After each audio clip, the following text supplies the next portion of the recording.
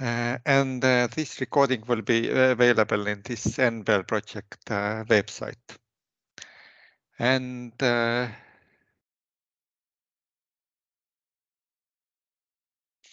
I first start with this brief introduction and welcome.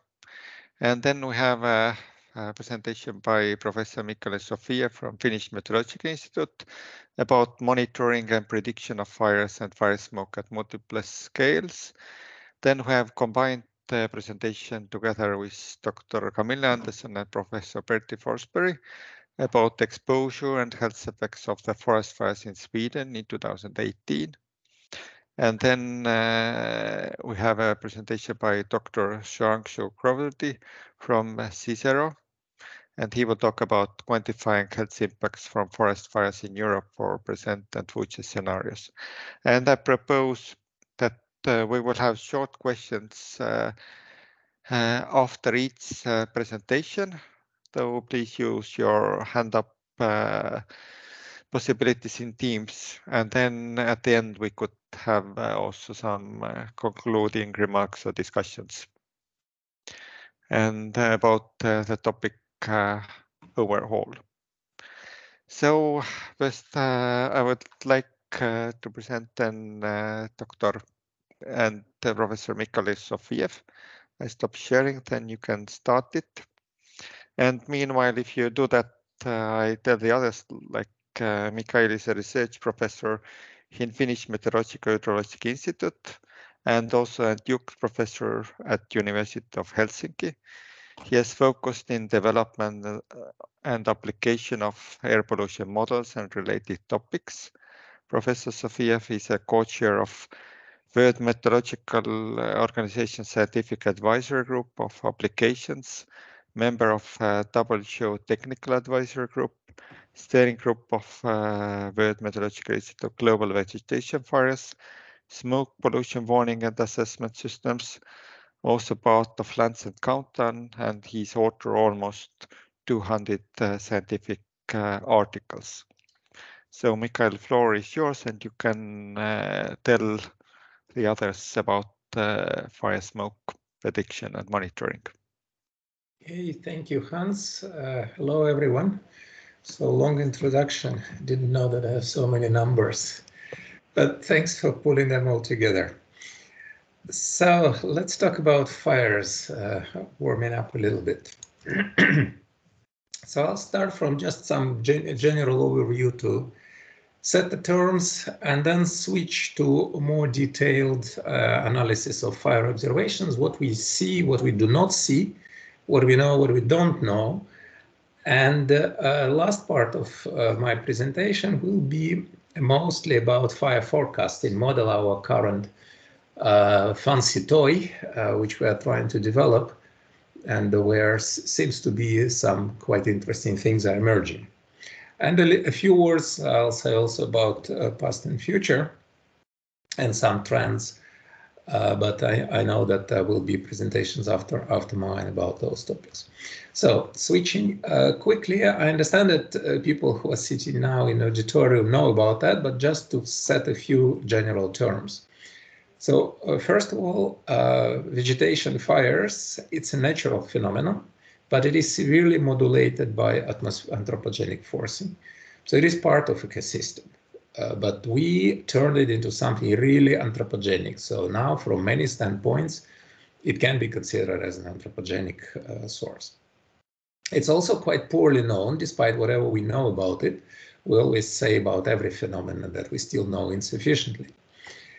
Uh, the observations are comparatively well established, uh, but uh, there are usual issues for satellites. I kind of saying uh, between the lines here that in situ fire monitoring is very scarce and is available only in a few countries who manage to establish a regular network about that. But when we think about uh, large scale, global scale, basically the only information we have comes from satellites. So uh, first of all, the satellites uh, can give two types of products for us about fires. First, fire is a hot source. So in infrared channel, we can see the heat release from uh, ongoing fires. And second, uh, when the vegetation is burned, it turns from green to brown or to uh, blackish colors. So we can see in contrast the burnt area. These are two different products. Uh, they each of them has own pros and cons, and there are some uh, people who prefer one of one or the other one. Uh, but when we look into satellites, the low orbit satellites, the ones which provide us the global coverage and pretty high resolution, uh, they suffer from representativeness error. The satellite gives us like two to four pictures during a day, and if during that moment of the overpass there, had, uh, there happened to be cloudness, that's it, thank you, see you tomorrow. So the representativeness is a pretty severe issue there. For geostationary satellites, which can give picture every 5 to 15 minutes or 20 minutes, the, cover, uh, the coverage is the problem. All big fires in Siberia, in Canada, uh, or far south in uh, South America, they are all outside the uh, good view of geostationary satellites. So that's another problem of those. Direct measurements, as I said, are rarely possible and extremely expensive. And between it, from case to case, the variability is also extreme. And that's important now to think to distinguish. One is ignition of the fire, and that is largely anthropogenic. So most of fires are now by ignited by anthropogenic, um, due to anthropogenic activities. Lightning is natural one, but it is maybe 10%. But the chances of the ignited fire to develop into a big event, that is practically almost completely an environmental issue. I'm skipping now the intervention of fire brigades shutting down the fires it's possible uh, when the fire is sufficiently close and reaction is possible within short time. But basically the development is the meteorology driven uh, phenomenon. Now, if we look into global fire energy release, uh, that's the map calculated over 20 years. If we sum up everything what was observed by the probably now information source number one about fires, the MODIS uh, satellite. There are two instruments on board, Aqua and Terra satellites now. So if we sum up them over 20 years, that's what we get. So there are pretty clear pictures uh, here and uh, some peculiarities which are not visible at this scale. Let's look a bit closer to this region, um, which I selected because it is not heavily populated and you can see on this map, uh, what is shown here is the roads, road density to be more precise. Uh, but because it's not too populated, we can see every individual road here, and the red dots are the cities. Uh, then if we look at fire uh, energy released during, let's say, year 2010, which was a famous uh, extra hot record-setting year, with huge fires in Siberia. This was one of the burning regions there. And we see the road network here. Well, probably the most imp impressive is this agglomerate of roads uh, distrib uh, distributing some decent amount of passenger and cargo traffic in Siberia. And we see that wherever roads are dense and population is dense but not too dense, big cities are not visible here but the roads are visible. So fires are started where people can reach in two words. But if we compare it with year 2018, the same picture, same period, same uh, different year, not so hot, a bit more rain. We still, with some stretch of imagination, can see the road network and density of population, uh, but it's no longer that evident and the total amount of energy is much lower. So this is the impact of weather. So once again, 90% of fires are ignited by humans. That's takeaway message. That is agriculture practices, industry, forest industry, and some others. Land use modification, getting more into agriculture from the uh, wildland parts.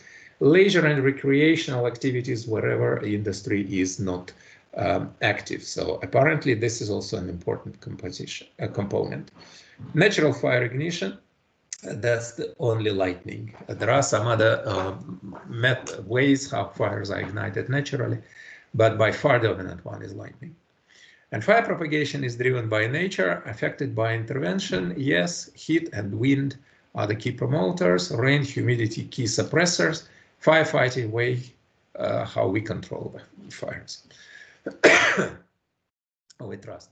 Sorry about that. I was still getting some koch uh, since last week was ill. Uh, fire mitigation in the long term, that refers on the forest management and societal development. Let's show once again this map and now look into a few other places, Europe and Asia. And please pay attention to these small areas where we can actually see the borders between the countries. We can see some landscape features like uh, mountain valleys, uh, like ridges, or simply differences between the uh, legislation on fires and obedience to the legislation. And we do see in both Asia and in Europe, we see the borders between the countries. So we do see impact of sociological part to the on the total fire map. And we also see, for instance, uh, here in China, this is uh, the most intense agricultural area there, and there is quite a lot of fires also down there, despite they are forbidden in China. But so how to monitor all that? Uh, I showed quite a few pictures. They were obtained with uh, IS4Fire system, which combines uh, several satellites, uh, three the key ones I mentioned here, that those ones which were used for years, some online like MODIS, which is a real-time satellite, offline MISR, uh, online and offline SEVIRI, and then we have to go into emission factors, to injection profile, to go into diurnal variation of the fire intensity, and so on and so forth.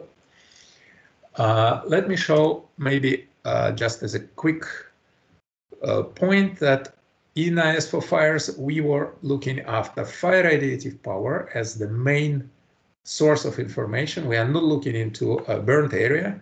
Reason, main reason is that fire radiative power is a real-time product. We can get it basically within an hour after the satellite overpass, but the uh, burnt area scar requires something like one week of accumulation of information. So if we are after forecasts, not, not really burnt area, fire radiative power is the uh, source. Uh, there are other satellites, not only MODIS now provides uh, FRP, so VIIRS and SLSTR, VIIRS is American satellite, SLSTR is European uh, Sentinel. There are several geostationary uh, satellites as well. A feature of IS4Fires is that it has strong link to SILAM. Uh, that's uh, our atmospheric composition model because emission factors, how much is released by the fire, uh, they have to be calibrated either in the laboratory or against the satellites once again. And this is how we do. We use uh, SILAM and we use inverse problem solution to get the fires. Uh, I mentioned diurnal variation, and that's yet another feature of the fire. What is shown here is the ratio between daytime intensity of the fire and nighttime intensity of the fire. And what is on the y-axis is the factor you see that daytime fires, in most cases, at least 10 times more powerful than nighttime fires, a special case African tropical forest where we have two orders of magnitude difference between the fire intensity. And there are several satellites from where we derived the case. This uh, empty bars, uh, green bars, are just a number of fires which were analyzed to get the impact, and this is the right-hand axis. But basically, one of the key important uh, features of the fires is that nighttime they are very heavily suppressed, suppressed by humidity, but by lower wind, but also daytime, especially in Africa, they are ignited as part of agriculture practices. This is where these two orders of magnitude come from. One of challenges which the uh, fire community faces now is that MODIS served us for 20 years, but it is getting old, well, actually already got old. In fact, both satellites are now out of uh, their standard orbit, which they were able to support for 20 years. But now both satellites are out of fuel, so they are just drifting. And uh, how long they will drift is a bit of a question mark, but we have to be prepared that within the time scale of a year, maybe two, we will be without MODIS. So uh, switch to VIIRS is the most natural step. It is a very similar instrument to MODIS. It has uh, three times higher resolution, especially if MODIS is um, about a kilometer in uh, sub-satellite nadir vertical view. Uh, VIIRS is about 300 meters, a bit less than that, almost four times better than MODIS. Uh, it has certain advantages. Uh, sees much more fires, uh, but uh, also sees quite a lot of non-fire cases. Industry, sun glints, uh, oil refineries, that all has to be must have. Volcanoes, by the way. Uh, that all has to be uh, flagged out. And it turned out that the algorithm which worked for MODIS very well, the persistent fire algorithm, so if we see fire again and again at the same spot for uh, weeks and months, just means that it is not real fire, it is something underneath there. Uh, doesn't work for VIIRS, unfortunately. And the second problem is just technical one. Uh, MODIS altogether is about uh, 50 terabytes data set. VIIRS is about a petabyte data set. So just downloading it is an exercise already. So some kind of packing has to be invented. Uh, we are on the way to a reasonable packing there, but um, not yet. And uh, Europe also launched uh, a satellite, SLSTR. It's uh, on board on, uh, Sentinel, Sentinel program. And uh, there are some technical issues there as well. But anyway, uh, the VIIRS and SLSTR are two successors of the uh, FIRES, and SLSTR very recently got a daytime fire algorithm. Before that, it was only nighttime fire satellite. Uh, this information goes then further, going, going a little bit downstream. So the smoke prediction. We have fires. Uh, now let's get into smoke. I hope I convinced you that it's possible to get fire indices, uh, fire emission factors, and convert the intensity of the burn into um, amount of smoke released. And that's what we did uh, some years ago. And what is now running is 10 kilometers global fire forecasting suite uh, which is available from uh, SILAM web page. And uh, evaluation is uh, done against satellites, against Aeronet, against in situ data. And for that, we also combine it with other forecasts because many uh, measurements are total PM or total optical thickness. So we need also desert dust, yet another forecast of SILAM, and the global air quality forecast, which is uh, with full chemistry. So we run it with 20 kilometers over the globe how much do we know about fires? So how well is the um, skills of fire smoke against observations? Uh, this is example for Aeronet, total AOD, left is bias, whatever is green is perfect match, and uh, right is correlation, whatever is orange, it's very good result. And this is once again total AOD, so it's not only fires, it's a combination. But what is important here, and that's one thing which we do not know yet, you see the equatorial belt where we have pretty severe underestimation. It's not because anthropogenic uh, emission underestimation, although it's also underestimated probably over there, but this is because of cloudness, so that according to our calculations, MODIS sees barely 30% of fires down there. All the rest is cloud uh, covered, obscured. So that's one of the issues. Uh, helps somewhat. That's a geostationary satellite over Africa, but it cannot do everything. Uh, for correlation situation is uh, actually a little bit better also in equator, but uh, otherwise uh, we don't have much to complain. So the current observations can be considered as uh, good, good enough, let's put it this way. Okay, I think I skipped this one uh, just to mention that the plume rise is an important parameter of uh, fire smoke because depending on where we position it in the altitude, we will get um, uh, more or less distance of the transport and longevity of the smoke. And that is also has some reverberations to climate, of course. So uh, this is the algorithm which we have in IS4 Fires. Uh, there are other algorithms for compared in a very recent paper, which brought together uh, three different algorithms. And we were trying to compare it for some special uh, cases in, uh, in the US. Uh, the result was uh, actually pretty promising, and uh, we were uh, quite happy that in the scatter plot, the red triangles here are the IS algorithm. Uh, it was actually managed to avoid the underestimation of the plume height with regard to CALIPSO. So the IS fires actually showed very stable performance in that case as well. The value of the plume rise is shown in, in here. So you see the difference between the different algorithms and the vertical uh, amount of smoke. And you can see that uh, some algorithms prefer to put more smoke in the boundary layer. Some prefer to put it at uh, just above the boundary layer at three, four kilometers altitude. Some others bring it even higher. And the re redistribution is pretty substantial. And that is, uh, once again, climate effect, longevity of the smoke in the atmosphere, and also health effects, of course, whatever is in the boundary layer, that's what we breathe. And from that, uh, we jump to the uh, already mentioned today Lancet Countdown, which is the global uh, health assessment, which is using some something like 100 uh, different indicators and fire smoke indicator exposure is one of those.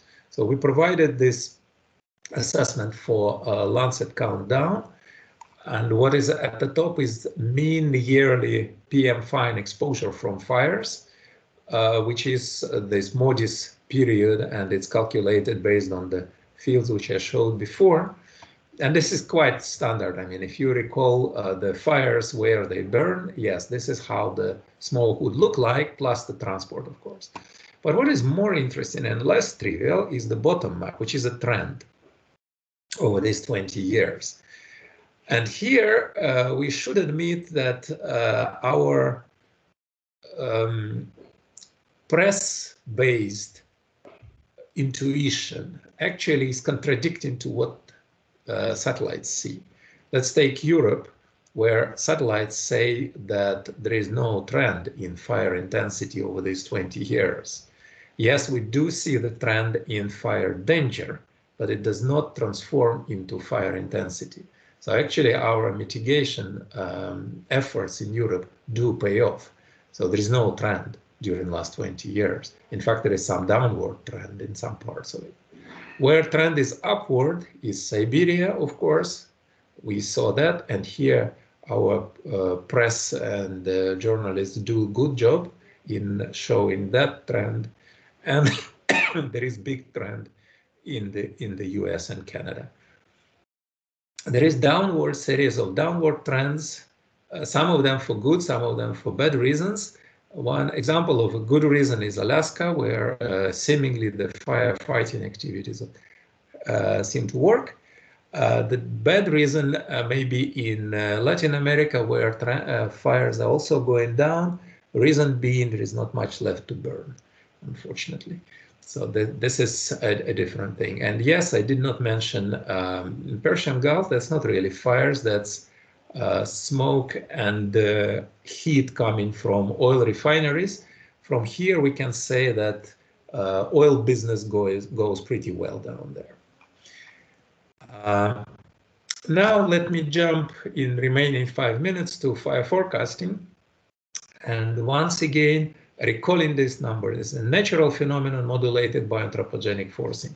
We can predict weather, but how to predict anthropogenic forcing? So if we think now, uh, just close our eyes tightly and try to make a fire prediction model for every region or for every comparatively small region, let's say 100 by 100, 200 by 200 kilometers, where we can hope that sociological par, uh, situation is homogeneous, and then we predict weather, assuming that within that grid cell, the sensitivity to weather will be dictated by the society and it's homogeneous over that period. So then we can take lightning data to get natural phenomenon part. We get fire observations from MODIS, we get weather data, we put it all into machine learning, and we get the prediction model. after some uh, tinkering, and then we get uh, fires in future or distant past where we don't have observations. I should say that simple machine learning doesn't work, uh, meaning that all most of these uh, statistical tools which are used for predicting, they silently or not very silently assume normally distributed data, by no means case the fire, stationary process by no means fulfilled, ergodic no, near linear dependence also no. So all assumptions uh, explicitly or implicitly taken by the forecasting uh, machine learning algorithms and really not fulfilled in this particular case. So we have to go into some very tedious work on transforming the data to get the problem features compatible with the instruments which we use. So what I'm going to show is the results of not a standard machine learning, but some pretty, pretty complicated series of transformations of the data followed by the uh, regression system. I skip this part. So dropping all the technicalities, uh, showing a couple of examples at the end of the presentation. We took 20 years of MODIS. We constructed the uh, machine learning algorithm. We took 15 years for training the algorithm and took last five years for testing it. That's actually one of good examples of uh, how the system works. And it's also a very difficult one. In Scandinavia, fires are rare here. And uh, you see there are years with big fires. Yeah, I should say that red dots here are MODIS observations. Blue dots here are MODIS detection limit. So whatever is below this blue dot at that particular day means MODIS cannot see it because of clouds, because of sensitivity of the instrument, etc. Uh, but the red dots are what, we, what it actually saw and the uh, brown lines are what predict what was predicted by the uh, fire forecasting model. So we trained it over 15 years, we let it for testing, and during training there were years with low uh, fire danger in Scandinavia, so there were no real fires. You see it here. System was trained not to show them. And in the testing period, there was only one year with big fires, and we happily captured it. So we were really happy to see that result in the testing mode. A little bit more in depth, uh, zooming into some uh, some other region that's Central Europe now. You see the uh, location in the title. And three years, uh, once again, MODIS uh, fires observed, the red ones, detection limit, and fire prediction of the system. I picked this example to show you this line. You see at the beginning there are several fires which were not predicted by the system or pretty severely underpredicted. The trick is that here this uh, prediction was made by the system which was trained without lightning. If we add lightning, this is now with lightning as a precursor, we all of a sudden see that the season was actually started by several thunderstorms, which we were able to predict as soon as we include them into the uh, predictive uh, variables. Rest of the season that was comparatively well captured once again. So having this uh, kind of assessment for the whole globe, uh, we switched to future scenarios, and that's probably the last slide which I'm going to show. So the IS4Fire's fire forecasting model was run till the end of the century, taking the community Earth system model from Norway uh, meteorology for three scenarios SSP 1 to 6, that's 1.5 degrees uh, forecast, 245, that's 2 degrees, and 37 is closer to 4 degrees uh, prediction. Uh, that's the time series which we got. Uh, this is uh, Northern Europe now. It's not too far from Helsinki, actually. Uh, and the important message is that until the end of the century, middle of the century, there is no big difference between these ones. Not every year, as we saw in the example, before in the past. In the future, there will be not every year fires. In some scenarios, they go more frequent and some less. But where we do see the problems is towards the end of the century, when in case of uh, blue lines, that's this uh, four degrees scenario, where we every year have quite long fire season. So that is uh, what is predicted by that system if we take into that scenario. So I think this is summary now, and I stop here, but probably I will keep this picture on the screen. Thank you very much. Uh, thank you, Mikael, for this uh, great uh, presentation and keeping the time. Uh, does anybody have a question on what was presented?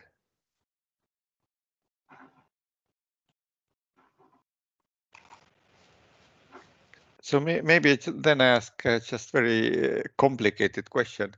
How, how much uh, this data has been used or how much, uh, let's say, decision makers uh, ask you those kind of predictions and how they have implemented this in the work? Uh, sorry, Hans, once again, please, I was reading chat. There is a comment down there.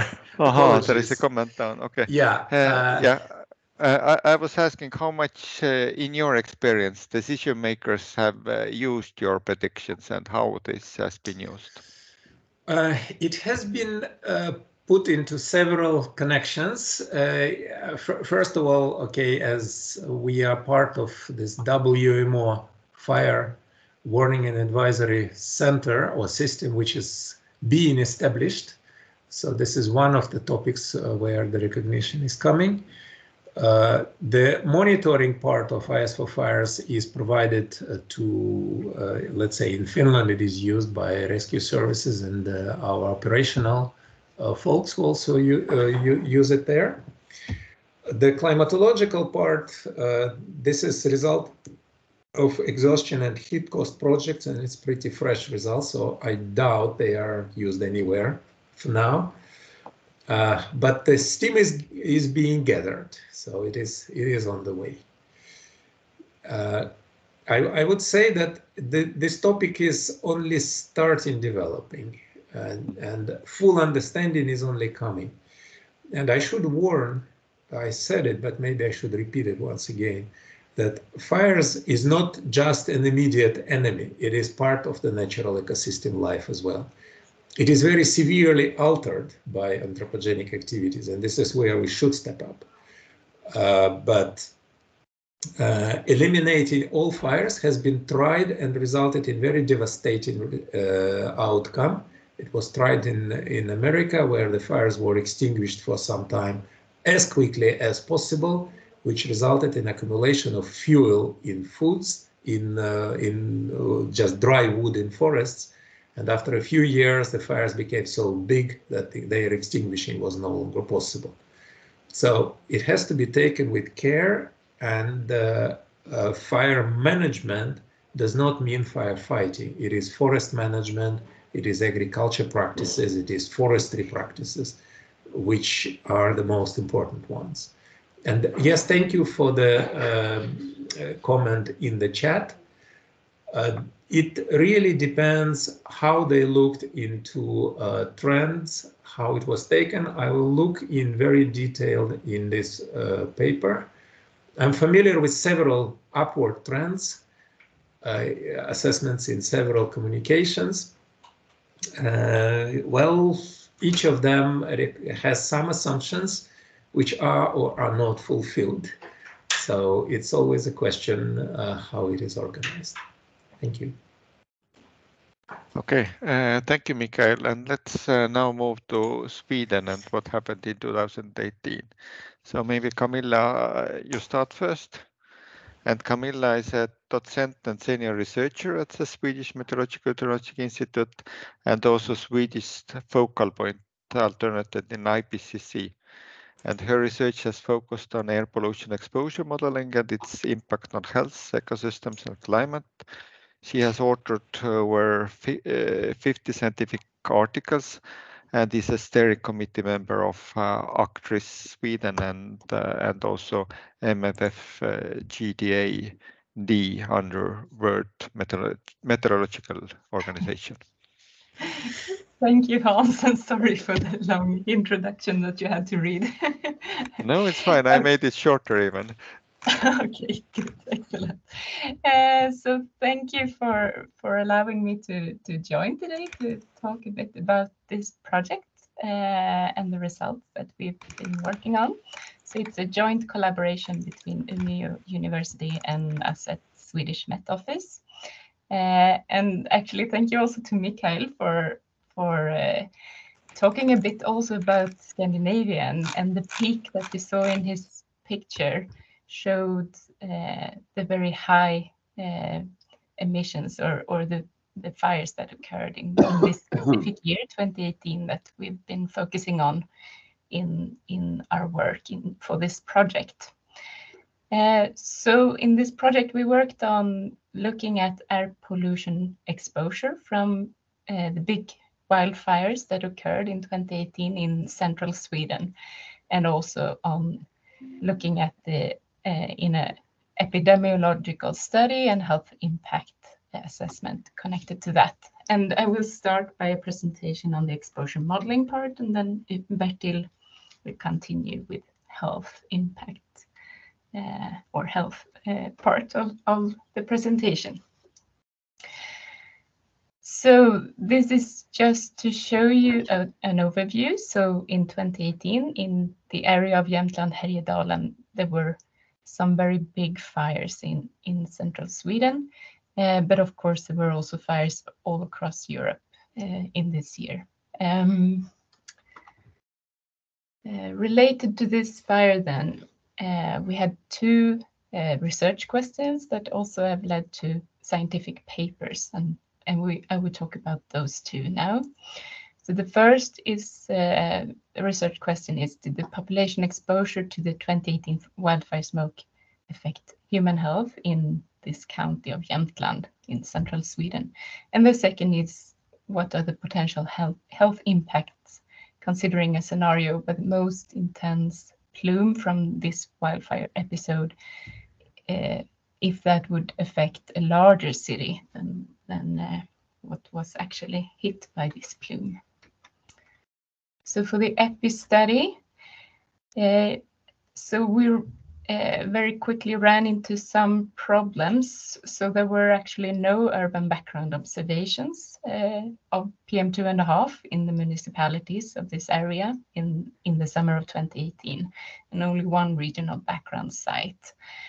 However, there were quite a few visibility observations, so that uh, was something we could use for evaluation. Uh, so in order to uh, estimate exposure, we had to turn towards modeling. And luckily, that's what we are doing a lot at the Swedish Met Office, SMHI. Um, so for this, we use the model we usually use here, the MATCH model. It's a Eulerian uh, CTM, chemistry transport model.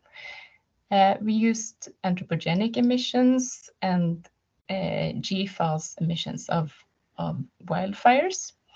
Uh, and you can see some technical details in, in this slide. The meteorological forcing was from the ECMWF IFS. We used a grid covering Europe on 12 kilometer resolution and then a NEST towards 4 kilometer resolution covering Scandinavia. And included in this simulation, we had primary and secondary PM uh, formation and transport, um, including uh, BBS SOA formation. Yeah, that's a bit of the technical stuff, but now I get into the results immediately, uh, very quickly. Um, so in this slide, I show you how the time series on the left-hand side, you can see the time series of daily wildfire emissions uh, from June to August in 2018. And you can see there were some emissions in already in June and, and beginning of July, but the major emissions were centered around 18th to 20th of July in 2018. And on the right-hand side, you see some daily uh, maximum plumes of PM2.5. So you can see that the plume where it hits varies and the concentration levels varies by time. So uh, this is the grid uh, with the maximum plume shown as a map. So the map maximum PM2.5 hourly value throughout the whole period uh, has been uh, put together in this picture. And you can also see in blue the different observation sites. So I don't know if you can see my uh, the mouse indicator, but in the uh, in the lower or middle part of the grid, we can see the largest uh, plumes from the fire of, of PM2.5 uh, smoke uh, is close to the Dravagen and Sveg area. And Sveg is a, is a small town. The major city in this area is Östersund. It's in the middle towards uh, the higher uh, part of the picture. Uh, and the observation site of PM2.5 in the, is in the very top, Bredkälen. Uh, so it's quite far away from the actual uh, fire plume. Uh, so we wanted to use this visibility to see how we managed to capture the variation due to wildfire closer to the fires uh, by using visibility observations as well. So first of all, looking into evaluation of PM2.5 in this site far from the fires. Um, so in the in black, you can see the, the observations of PM2.5. In in the yellow, you can see the total PM2.5, uh, where we have a peak around the 19th, 20th of uh, July. Um, and then in brown, dark orange maybe, uh, you can see without wildfires. So the, the main wildfire contribution is around that time in the model. However, this is not included in, in or you cannot see that same peak in the observations. So we're not exact, exactly capturing that in that very far away from, from uh, the fire center. Um, However, looking into visibility, we, we can see that in the bottom of the of uh, our grid or closer to the major fires, we perform much better with a better correla correlation um, than far further away from the fires. So, so we considered this uh, to be good enough, at least, uh, for doing this exposure uh, modeling and epi study. Uh, so we calculated population exposure using uh, population data, uh, and and we can see that the highest exposure was seen in the southern parts of the grid, as expected, with up to 86 Eh, micrograms per cubic eh, meter in Berg eh, municipality and lower in Östersund. So this was then used by Bertil and he will talk a bit about what this means in terms of health impacts uh, for, for the municipalities. But before that, I will just quickly talk also about the second study. So we also used it this data for a scenario study. Uh, so we looked at what if these fires uh, would have happened closer to a major town or, or a larger city, uh, Östersund. And that has turned into another paper. Uh, you can look more into that if you want in afterwards. Uh, so we constructed two scenarios. One, if the population of Östersund, uh, the town, was to be shifted to the place of Sveg. Uh, so this Sveg is a town closer to the major fires. And the second scenario was uh, if the the highest value or the the most adverse plume would affect Östersund directly. So in that case, we shifted the population of Östersund to the maximum of the plume. But Bertil will talk more about this, but this is how, how the corresponding plumes would look for, for the two cases. The middle is the first scenario and the right-hand side is the second. Okay, thank you. And I think we will we'll wait with the questions for now and maybe at the end after Bertil uh, we can go for if anyone has any. Thanks, Bertil.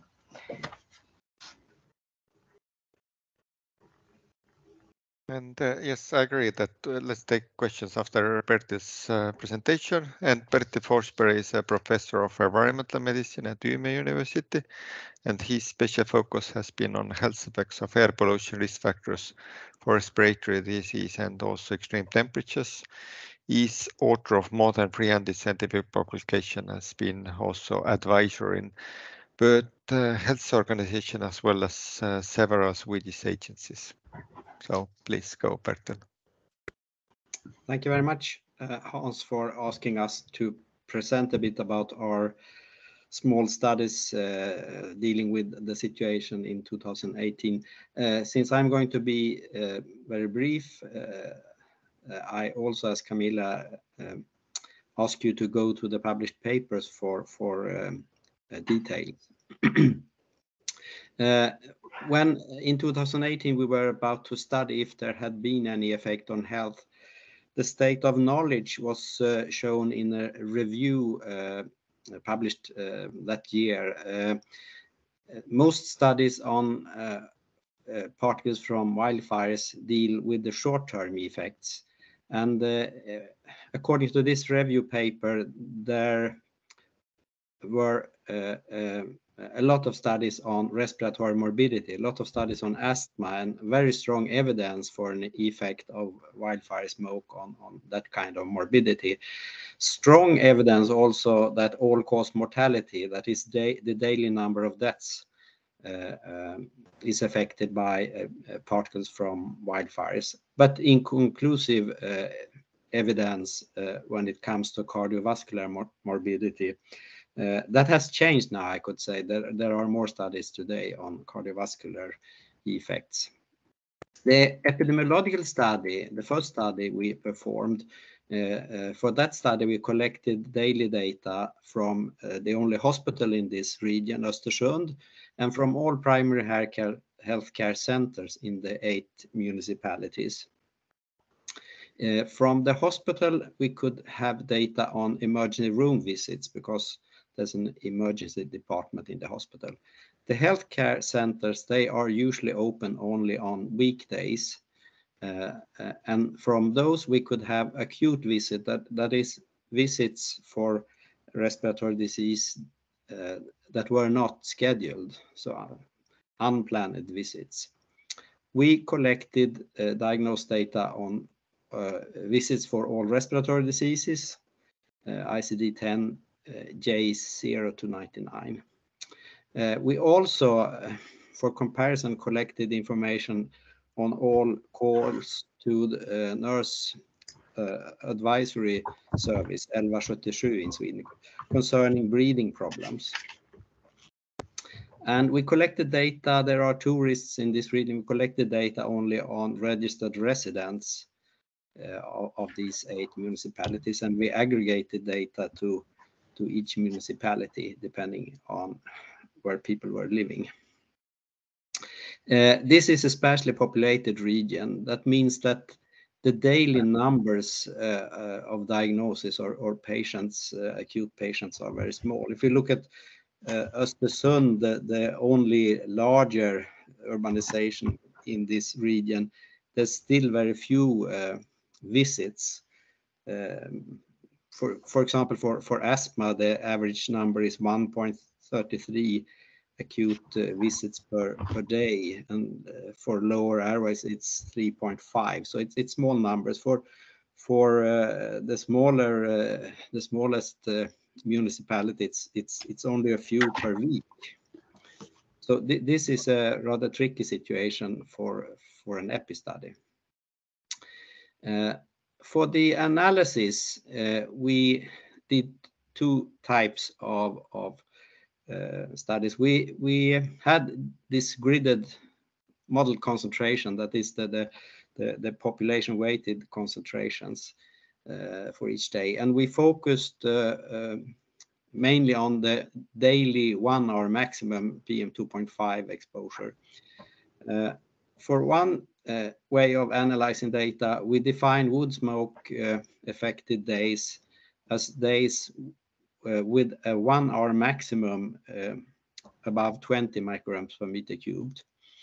But we also assume that there from from previous studies where most of the effects are seen the same day as the exposure or within two days. So we, we allowed for a delay of effects up to two days, uh, which means uh, that if a day is uh, from the concentration defined as as affected above 20, the next two days were also included as affected days, even if they were not above 20. So you can see here in the slide the effect of that, that if we have, Uh, uh, I think it's four days here first, uh, and then there's two days more included among what's seen as exposed days. And that comes another day after a while, and and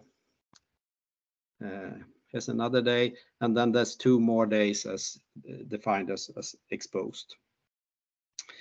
Uh, relative risks, they were estimated adjusting for uh, seasonal pattern, day of week, temperature, and relative humidity.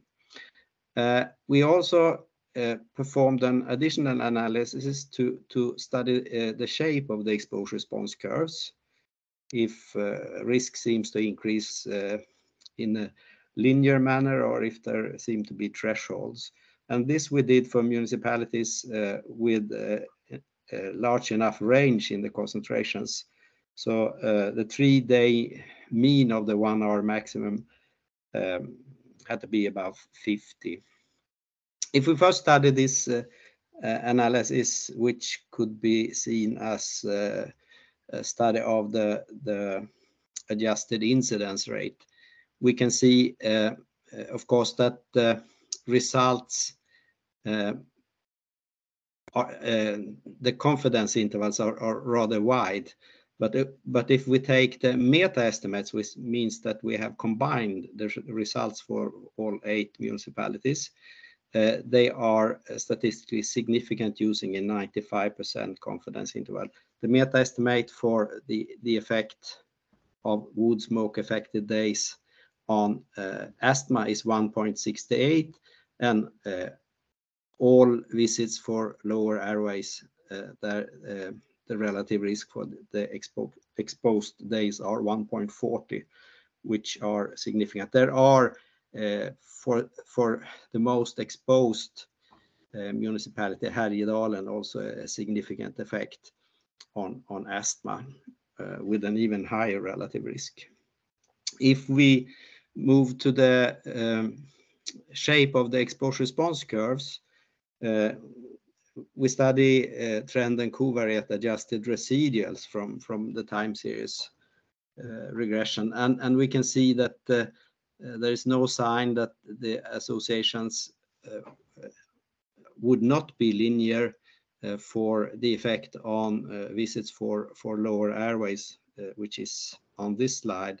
And the same goes for, for visits for asthma. Uh, and this uh, is uh,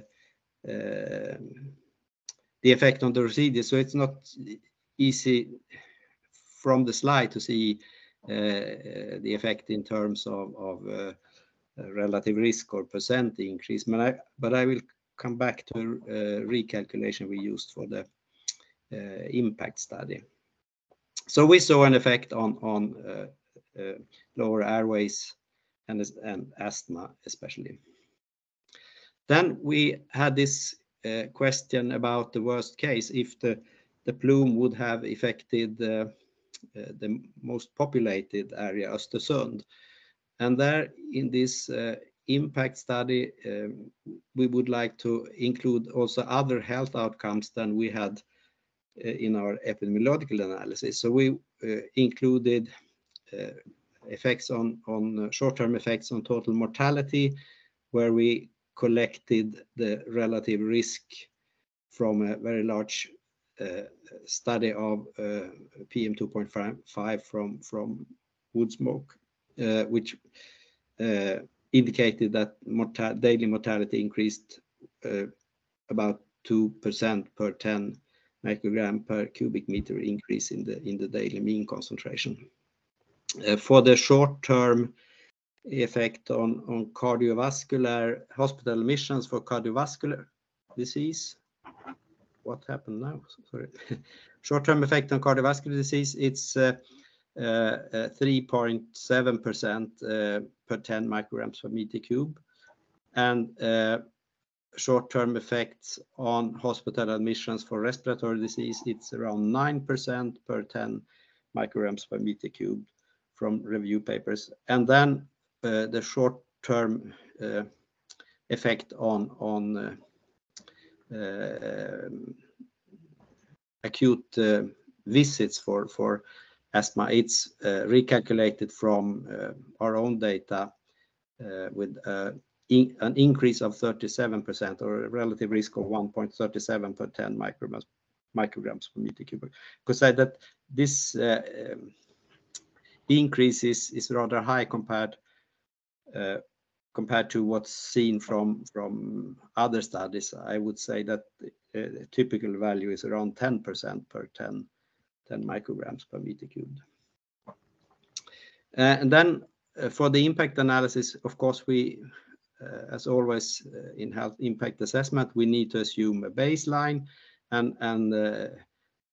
Here we have our own data where we can calculate the baseline. It's 2.10 uh, visits per day and 100,000 inhabitants. Uh, for the other three outcomes, we could, from the National Board of Health and Welfare, collect the baseline rate ratio for this region, Jämtland Härjedalen. Uh, and since it's Uh, outcomes with rather low uh, frequency, the the numbers are quite small.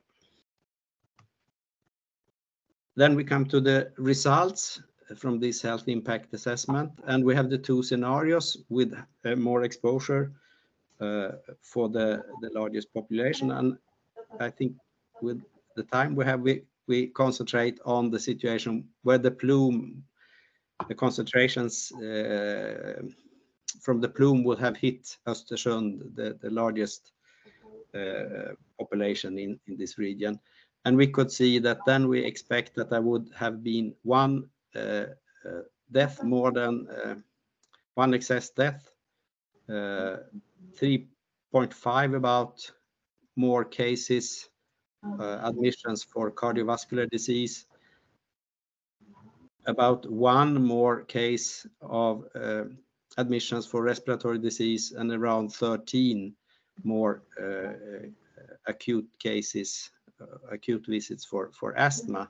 And this 13 could then be compared with the baseline number for the period affected by wood smoke, which was 12 cases. So it's a bit more than the doubling of the number of uh, mm-hmm. uh, emergency or acute cases of of asthma. So finally, the conclusions. Uh, our EPI study showed increased numbers of visits for lower airways, including asthma, which goes into to the category lower airway disease. The relative risk we saw was mm-hmm. high per 10 micrograms uh, per cubic meter of PM2.5 in comparison with uh, what we have seen from other studies of uh, PM2.5 from from wildfires. And those studies generally indicate stronger effects of such PM2.5 than PM2.5 in general. We could also say that this short period of exposure of a small population resulted in rather few excess cases, also in in our impact worst scenario. And uh, we could also add that we study here the the short-term effects of local, so to say, local emissions. It might be that for a country like Sweden and this region, long-range transported uh, wildfire smoke may be a bigger health problem if we would do a similar uh, health impact calculation using uh, model data for PM in transported PM 2.5. So thank you. And now I think we could let you ask Camilla and me questions about our small studies.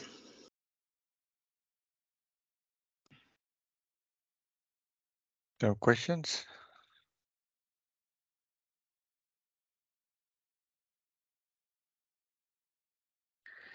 Uh, uh, yeah, the, we have a couple of questions. Very nice. That Tatiana is first. Uh, hello, I'm Mat- Tatiana. Matjana, yeah. Yes, I'm from Croatia. Uh, and uh, since we have similar, similar, similar, not similar uh, regarding to the wildfires, but we, uh, thanks to the EU funds, we developed some innovative uh, modeling tools for indoor air quality for urban areas. My question is more of technical. How do you deal up there uh, when you develop some model, in this case for fire, uh, uh, fire? How do you deal with the promotion of that innovations um, uh, in, to introduce them to the decision makers? We now challenge in Croatia, we develop, developed some innovative tool for health impact assessment, but we struggle with, of course, how to introduce that uh, to the decision makers because it's very hard when you have high level of PMs and you have to put the early warning for, for the population in WebGIS, like please take care, do not uh, perform intensive physical activities in the outdoor. We still here in Croatia, but I think in all Southern Europe or Middle East, Central Europe, we struggle with that part of communication. So basically we, we develop something innovative and then we have a problem. It would be comforting if you say that you also struggle with the same things, I hope. So thank you. Thank you. Uh, I think we could say that in a way we are better off, but we have, from our side, we have uh, been within uh, uh, Acrobear, our, our uh, project, we have uh, initiated some some uh, discussions in focus groups and presented our results in in the concerned region in Jämtland Härjedalen. But but we have also been invited to to write about this problem with the wildfires and, and uh, potential health risks, both in a report for the Swedish Environmental Agency and yesterday, uh, the two last days, I, I participated in an activity for the National Public Health Authority on climate change and health, and we we, we discussed uh, uh, wildfires and and, and potential uh, increase in the in in, in the uh, or an increase in the potential for wildfires, I, I should say, and what that means uh, from health point of view. So I think it. What do you say, Camilla? I think there there uh, there is at least some interest for these results. Yes, I think I can maybe I can uh, add a few things. I totally agree. Uh, we're in a good spot. Um, uh, we've also been working for both you, Bertil, and I, and, and others have been working together with the Swedish EPA for many years to uh, sort of understand where we're going and and uh, what is needed from the decision makers. So I think it's a good thing to work together with these people who, who are closer to the decision makers um, and and those who also uh, think things that are supposed to be reported to the EU, for instance. So from our side, we've developed a, a, a web service called Luftweb, which is directly translated to air web or air internet uh, web page. And, and in that place, we try to collect different um, services that can be of interest to decision makers. Um, and I think in the long run, we would also like to make similar things as you suggest, having sort of warnings or, or messages to the public on high levels, but that's sort of not done uh, at this point for, for this type of situation in Sweden. Um, so there's still some few things to do, but uh, yeah, I agree. Maybe regarding warnings, we could say that we have also advised the authorities to have some capacity to measure the concentrations in in in uh, remote areas where there are no um, monitoring stations. So so they could move equipment to areas which uh, for a couple of weeks may be affected by high concentrations.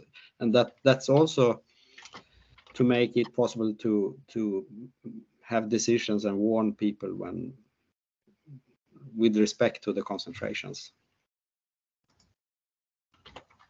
Thank you. Uh, yeah, thank you. Uh, Christine? Hi, thanks for a really interesting talk, uh, Bertil. Um, you have been uh, working on this topic for many years. I wonder if you could say something about your what you think about the or you know about different toxicity of wildfire particles versus average PM 2.5 urban PM 2.5. I mean, there's some uh, indications that wildfire emissions might be more toxic. Others say maybe not. so, what is your take on that question? Well, I would say that uh, the outcome where we have most information from uh, wildfire smoke uh, exposed population that that that's uh, respiratory morbidity and uh, emergency room visits for asthma and so on. And and there the uh, relative risks are, are much bigger for wood smoke PM2.5 than for PM2.5 in general. So, so there it seems to be at least more toxic than typical PM2.5. Then I know there are studies trying to to differentiate the effects from, so to say, fresh uh, wood smoke PM2.5 and and uh, PM2.5 that that that uh, is aged, and and there seem to be differences, but I have seen results in both ways. But but uh, I think the conclusion is that fresh wood smoke is seem to be more toxic than um, particles that have aged someday. Thanks. Okay, excellent. Uh, thank you for this. And now let's move to the final presentation by Sourangsu Chowdhury, uh, who will talk about scenarios. And he's a senior researcher at the CICERO Center for International Climate uh, Research. He's an anthropogenic scientist researching air pollution, heat stress, and human health. He focuses on modeling air pollutant and heat using chemistry climate models and satellite and assessing their effects on human health with a focus on identifying viable interventions to avoid these effects. So floor is yours. Thank you so much. Um, well, so uh, I will talk a bit on uh, contribution of wildfires to annual ambient air pollution and related exostates, present status, and future projections. So I'll use uh, most of the outputs that Mikhail and his group produced and Mikhail presented in his talk. So I'll not go too much into the methods, uh, rather I'll be very uh, short with my methods and then discuss more the results. Um, same with introduction, I'll not uh, say a lot because um, Mikhail already mentioned um, uh, many things, many important things. Uh, so uh, very briefly, we know that climate change affects air pollution. It alters meteorological factors, and uh, you know is is expected to result in increase in ground level ozone or particulate matter, and um, in many locations worldwide. And the main effect of meteorological factors, as we know, is on natural emissions and wildfires. Now, over the past decade, um, we have seen that there has been a surge in incidences of large and uncontrolled fires in all vegetated continents. Uh, the wildfire seasons have lengthened in many areas uh, due to warmer springs, longer summer, uh, dry seasons, and you know drier soils and vegetations. Now, what happens with wildfires? It you know it emits lots of uh, fine particulates into the air. And as you see, uh, this is Berkeley on a clear day, and then Berkeley after a, you know a, big forest fire event upstream. So you see that uh, these these very small particles are, uh, are, are emitted into the air and they stay into the air in the air for long periods of time. And these are so small particles that they uh, that they reflect away the blue uh, part of the spectrum, and you just see the orange lights. Uh, and and as Bertil uh, mentioned, and uh, as Kristine's uh, question was, um, you know, uh, was was answered, that wildfires uh, may result in a range of uh, health issues, including respiratory and cardiovascular endpoints, and emissions from wildfires can be more toxic as compared to other sources. So we'll do some assumptions um, on these as well. Um, so the objective of what I'll present is to quantify the contribution of wildfires on long-term air pollution exposure and chronic impacts on human health for the present and future scenarios. You have already seen how uh, it, it increases the risk of mortality uh, uh, or respiratory uh, diseases and hospital visits for short-term or acute uh, exposure. Now we are talking about um, you know chronic impacts. So I'll be very brief. Uh, we use the fire emissions that were generated by Mikhail's group. So these are the newly developed fire forecasting model, which produces fire emissions uh, beyond the MODIS, lifetime. Uh, we used anthropogenic um, emissions from CEDS, uh, which includes all other sectors, including industries, domestic uh, solid fuel use, uh, domestic energy generation, power generation, and agricultural activities. All, these emissions were fed into the uh, global chemical transport model SILAM, which Mikhail mentioned in brief. And the resulting outputs uh, were at uh, 2 cross 2 degree horizontal resolution globally and at 20 kilometer over Europe from 1990 to 2100 and under three scenarios which are SSP 126, SSP 245 and SSP 370 and they were used for health impact assessment. Uh, well, so now using the results uh, from the SILAM model, we find uh, that the global population weighted PM2.5, which are the blue lines, um, and and represented by the blue y-axis. So they have increased from 34 microgram per meter cube in 1990 to uh, 50 micrograms per meter cube in 2017.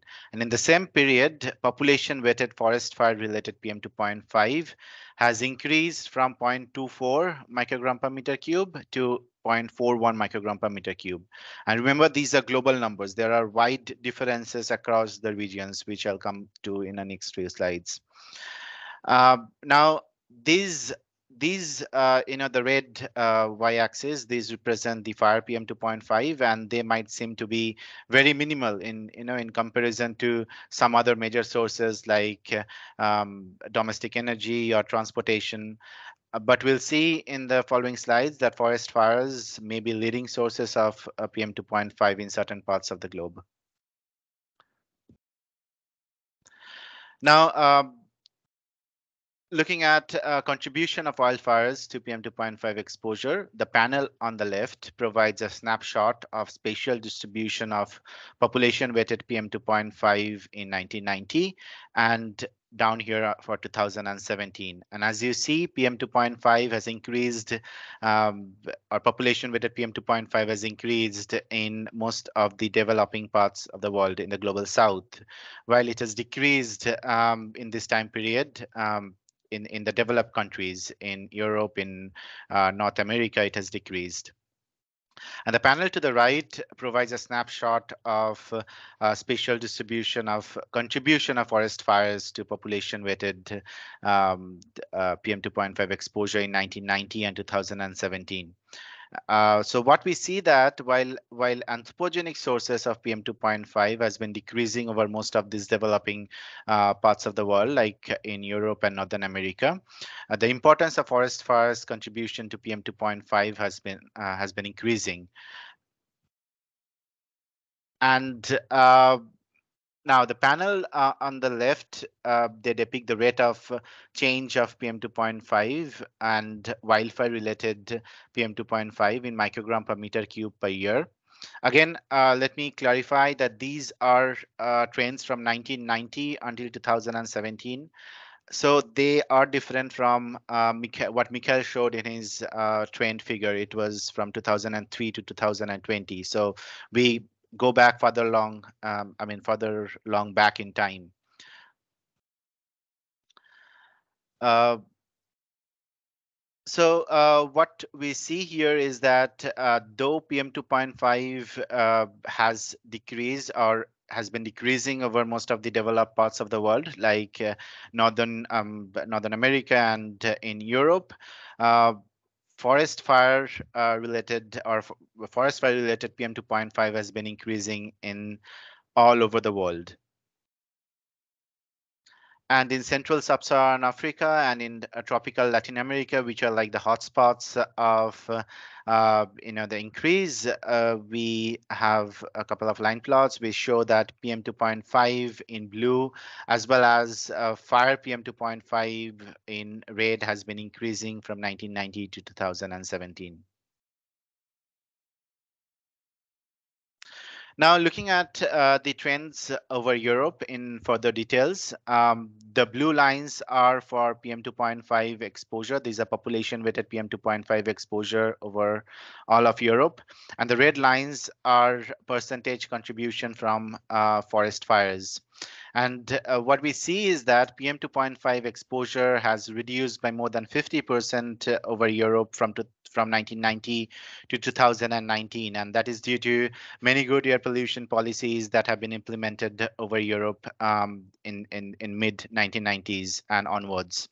While we uh, see a rising trend in contribution of wildfires over the 30 year period, and more significantly in Eastern Europe, which are indicated by the dashed lines, uh, than in uh, Western Europe, which are uh, which are uh, thin solid lines, and Central Europe, which are dotted lines.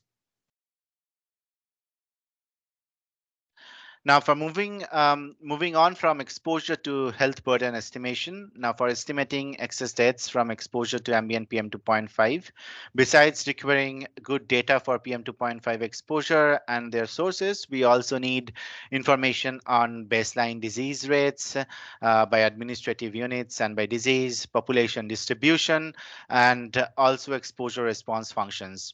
Uh, it was uh, it, it, was uh, talked about a bit by Bertil, but I'll say that uh, these exposure response functions are different. These are for chronic impacts.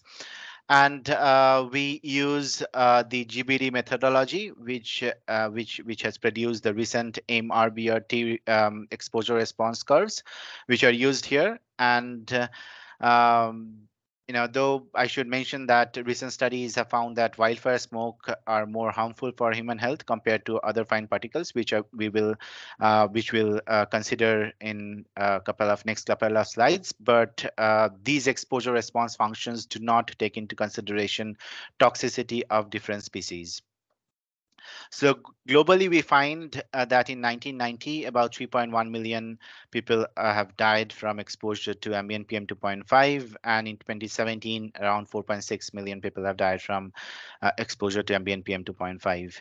And uh, globally, ischemic heart disease and stroke are the leading causes of deaths, followed by uh, chronic obstructive uh, pulmonary diseases, lung cancer, and type 2 diabetes. Now, globally, it can be um, seen that PM2.5 related excess deaths, which are in blue lines, have um, uh, have increased significantly from 1990 to 2017, and that is because uh, PM2.5 in most developing countries have uh, have have increased, and uh, these developing countries house the um, house a large proportion of the world's population while excess deaths from forest fire PM2.5 has also increased in this time period. Now, over Europe, uh, we estimate the excess deaths from uh, all PM2.5 to decrease, which are blue lines. Uh, by more than 50%. However, the excess deaths attributable to wildfires were estimated to increase by more than 100%. Now, though these are, uh, you know, small proportion of the total excess deaths from ambient PM 2.5, um, it, it is in a way counteracting policies and efforts to achieve clean air across Europe. And on the right hand side, we have the fire mortality rates, which are excess deaths from wildfires per 1,000 deaths from all PM 2.5. And uh, for all the countries, these rate has increased over Europe. And these are just snapshots of two, uh, two years, um, in 1990, the blue dots, and 2019.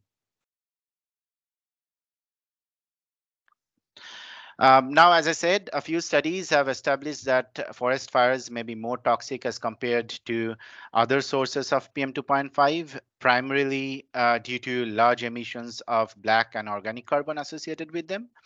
Uh, you know, a recent study has indicated that forest fires may be 10 times more toxic as compared to other sources.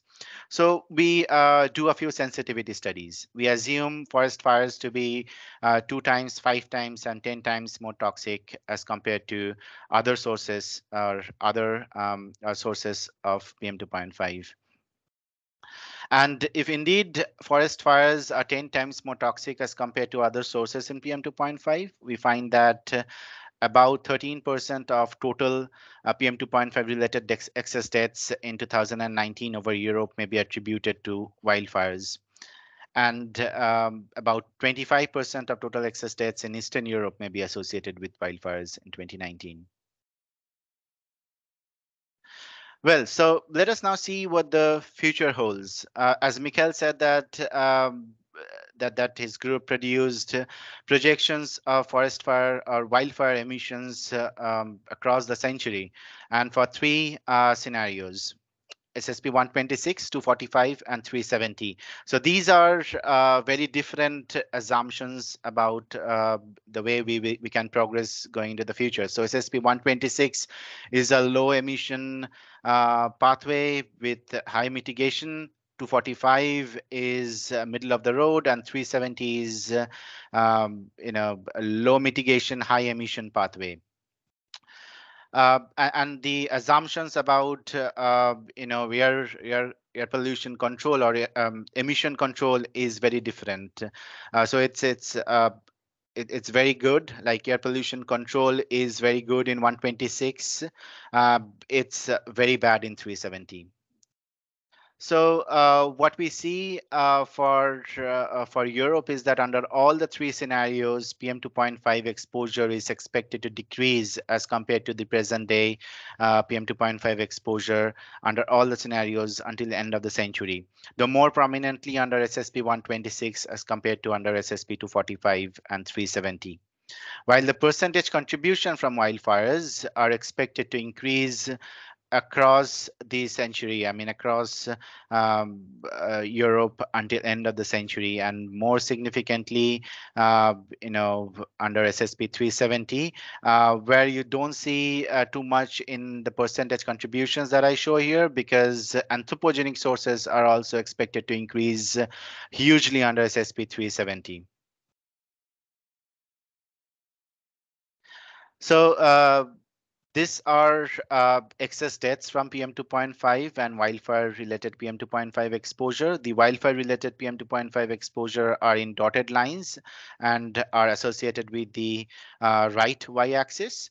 Uh, so for both both Western and uh, Central Europe, that uh, you see here that uh, PM2.5 related excess deaths are expected to decrease until end of the century under all the scenarios in both these regions.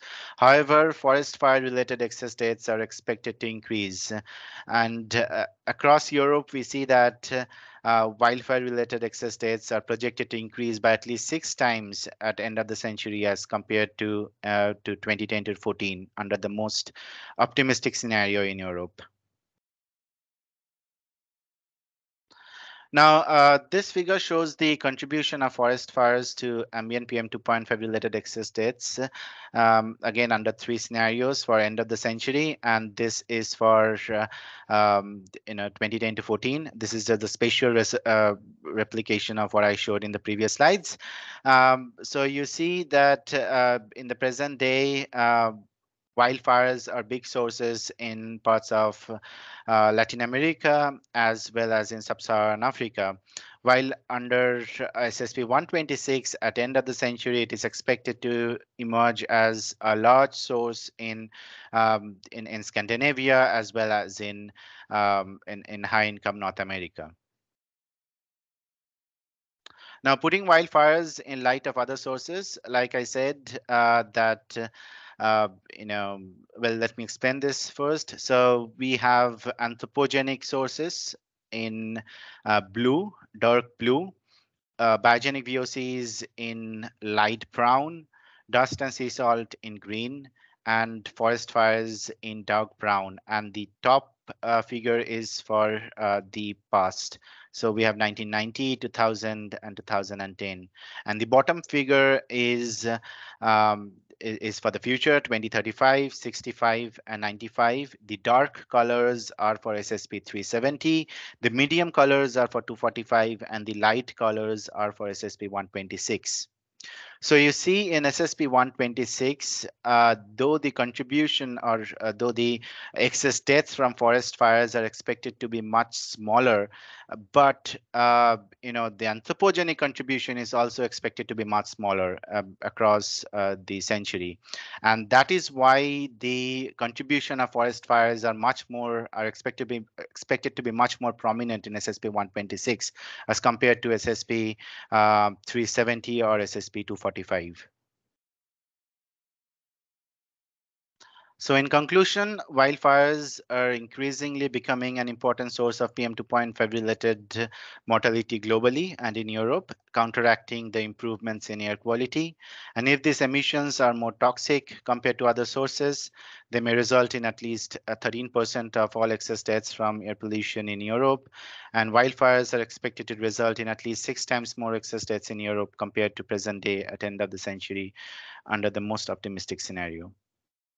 Thanks.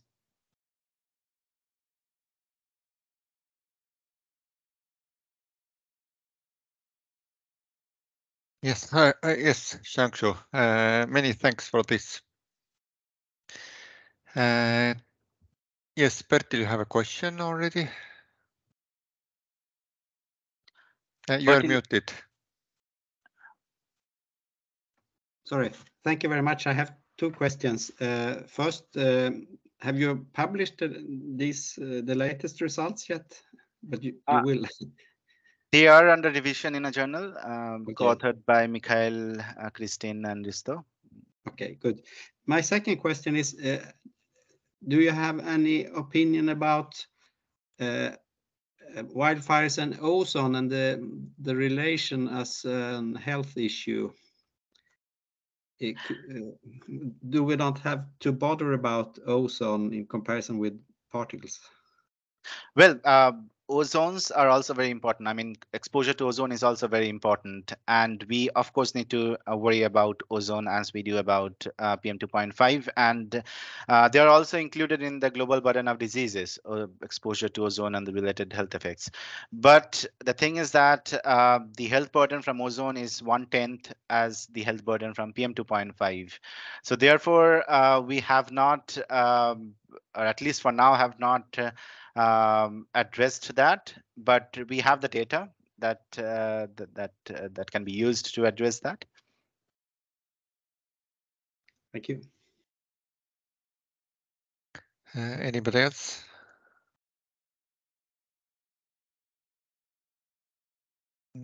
Then I have just uh, a discussion point uh, question to everybody, especially related to Sourangsu's uh, last presentation that we are expecting forest fires excess deaths to increase in coming decades. So what we should do or what we can do to avoid this? Because we're expecting like there will be more forest fire smoke, but from a public health point, we cannot accept that what we could do or what we can do?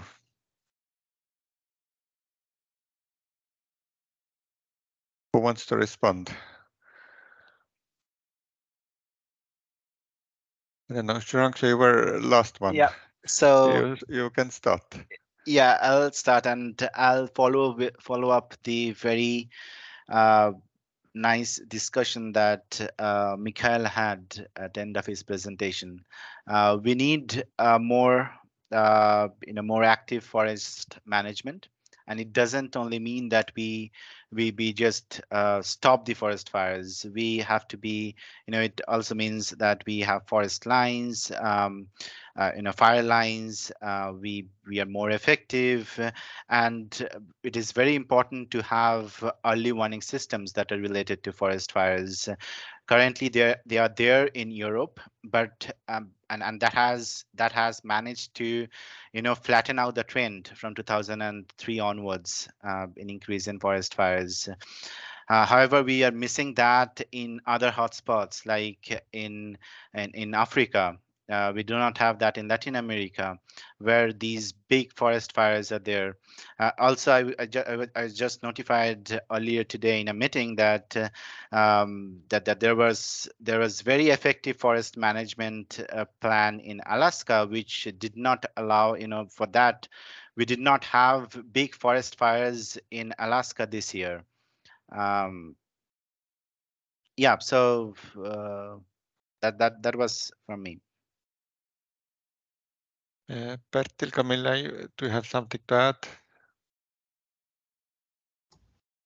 Maybe I can just add to, to what you just said, Sourangsu. And so for Sweden, for instance, there has been a problem over the years to turn towards more monocultural um, spruce plantations. And they've identified this as a, a problem for wildfires and, and to also include a mixture of leaf uh, species and not take those away from from the forest. So that's one practical way forward to sort of manage an increasing risk with with a management method, I think. But this is not my expert area, so.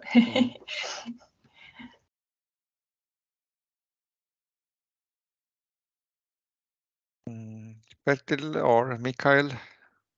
I, I it's it's it's not my area either what to do uh, about the uh, fire risks, but I, I think that we, uh, with regard to health, we need to to uh, inform policymakers um, more about the, the long-term exposure and the effects that we ha may have quite large effects from from wildfire uh, smoke also in areas where we we we don't uh, see any fires or or have the fires far away. And and i mean the the relative risks for for long-term exposure on mortality for example is usually 10 10 or 20 times bigger than the short-term coefficient. So it's uh, it's a huge problem compared to what i think that that politicians and policymakers believe. They they say that well maybe Sweden and Finland and that kind of countries are affected one time uh, one year in 10 or so but but that's not true yeah like there's a long-term transportation as well yeah. of air pollution yeah that's uh, actually as uh, already said uh, referred to the forest management one thing, but uh, I also would like to uh, reiterate the item connected with societal management in more general. Uh, fires are started by people, also within recreational activities, and uh, in many uh, countries where industry and agriculture are brought to sense and do not contribute to uh, fire activity, recreational activities of public becomes uh, one of the most significant contributor. And uh, that is happening nearby cities, and this is happening where people are.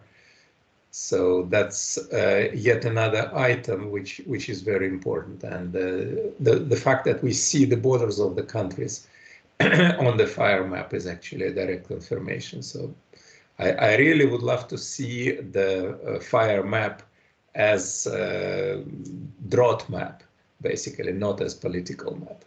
So that it's it's actually taken seriously in all states and all societies, and where the uh, fire legislation is not at place, it should be at place, or forest legislation is not appropriate, and where it's at place, it should be enforced and understood by people, because that's yet another important thing. Yeah. Uh, and uh, another question, like uh, it's very close to the forest fires, but uh, how about biomass burning though? Like uh, in India, there was a huge problem recently, like uh, agricultural waste burning and biomass burning.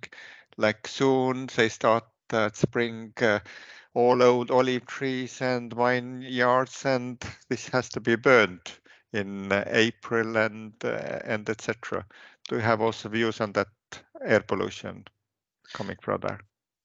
Yeah, so uh, if I if I just uh, start, uh, can I just start on this? Yeah, yeah, sure. Yeah. So uh, related to the problem in India, it's it's like an very aged problem. Like it's it's been there since uh, as long as the satellite uh, history can tell us. Um, so what happens is that during this part, uh, this time of the year, and uh, end of October and mid of to mid of November, there is a lot of uh, crop burning in the northern part of India, and uh, it gets transported.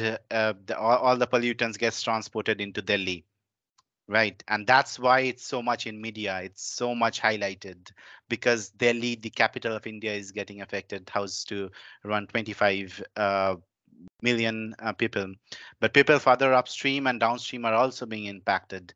Um, so the government of India is doing um, as much as it can to stop it. So uh, they are uh, they, they are uh, investing a lot of money uh, to to convert, uh, you know, help the farmers convert these uh, biomass into biomass pellets. Uh, so there are uh, very modern machineries that are being uh, handed out to the farmers to do that. Uh, then you know there are other things that the government is promoting. There is the there there is a specific module on this on the National Clean Air Action Plan. Uh, that is uh, that is there to handle this problem. But again, the thing is that uh, you know i'll just come up with a small example so in 2019 when i was finishing my phd we were uh, looking at the fire map and uh, we didn't see fires at all uh, over um, over delhi over over the northern part of punjab and then we uh, saw that a lot of lot of smoke was getting still transported into uh, into uh, into Delhi. And then what we understood, and when we discussed this with the local NGOs in northern part of India, the farmers were still burning crops, and they were very much informed about the satellite overpass time. They were doing small burns so that the satellites don't detect it. So you know there is a lot that can be done, but then again, it uh, it depends on how people perceive it. You know how the policy is getting perceived by the uh, by the local uh, people.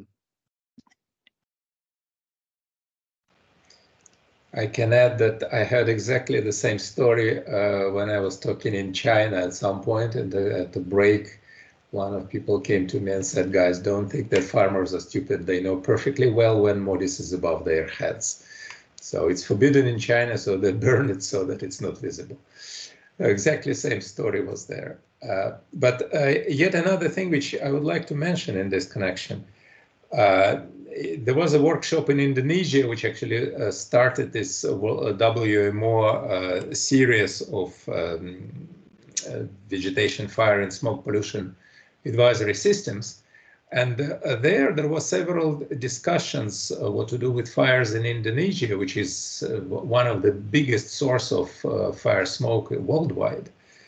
And the question very quickly came to the point that if the village uh, does not have tractor to clean the field after the harvest, and they cannot do it manually, they'll burn it. Yes, there is legislation forbidding it, But if there is no, uh, no other way to get the field ready for the next seeding, uh, it will happen anyway.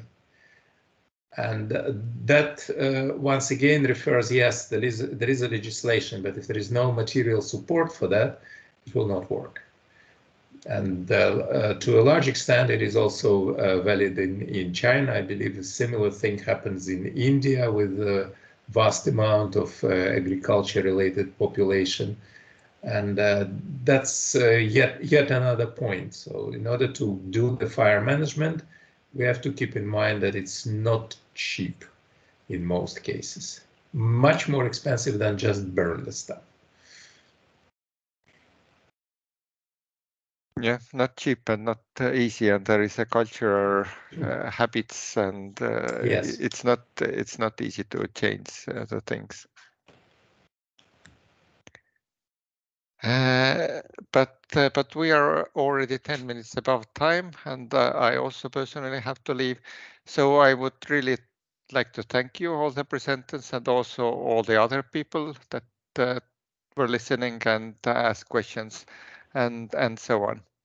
And uh, I think that's definitely the field we have to work. And as the climate is changing, so the problems might also get worse. And so I, we are not expecting that the culture and uh, anthropogenic factors will change in uh, in few years. So it takes time, and we have to kind of present those results even more. So thank you. Thank you. Thank you. Good night. Okay, goodbye.